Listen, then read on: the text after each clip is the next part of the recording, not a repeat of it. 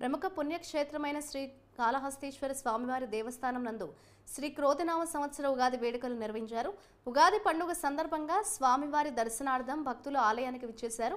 ఈ క్రమంలో ధర్మకర్తల మండలి అధ్యక్షుడు అంజూరు తారక శ్రీనివాసులు ఆలయ కార్యనిర్వహణ అధికారి నాగేశ్వరరావు సంయుక్తంగా ఉగాది పచ్చడిని భక్తులకు పంపిణీ చేశారు.